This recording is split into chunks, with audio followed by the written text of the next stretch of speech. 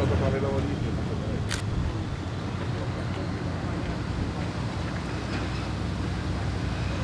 È un bel stress.